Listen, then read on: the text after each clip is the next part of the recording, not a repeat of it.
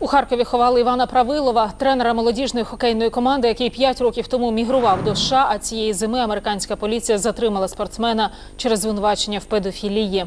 У в'язниці Філадельфії колишній харків'янин просидів майже місяць, а потім відправив своїм вихованцям прощальний лист і наклав на себе руки. В сексуальних домаганнях тренера звинуватили його ж учні. Чи були вони сьогодні на похороні, невідомо. За домовленістю друзі по команді не називають імен і не кажуть, хто саме написав на тренера скаргу. Наразі слідство у справі Правилова триває. Його провину поки що не доведено.